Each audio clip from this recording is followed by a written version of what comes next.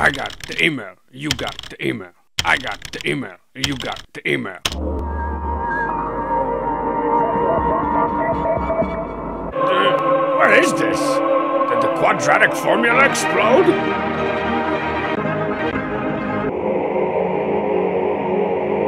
Wait a minute. Is this one of those virus emails? Like the kind that moms and offshore casinos send you?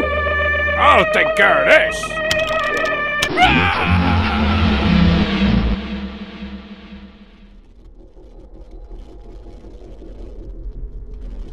With Marcypants Radish, we're gonna win the competition! Stupid.